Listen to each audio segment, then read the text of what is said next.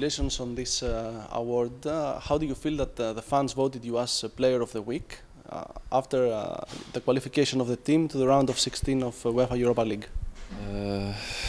I have to say thanks for all of the uh, our fans, our supporting uh, Olympiacos family.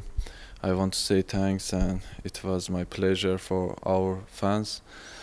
And I'm so happy for this, but I forget this because we must continue on.